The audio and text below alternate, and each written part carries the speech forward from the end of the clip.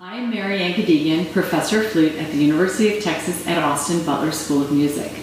During my 30 years as a member of the NFA, I have participated in competitions, performances, master classes, and discussions, and have been inspired by the heroes of our instrument.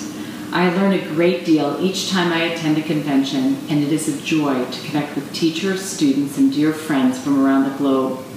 Inspiring flutists, enriching lives? Check. Thank you, NFA. See you in DC.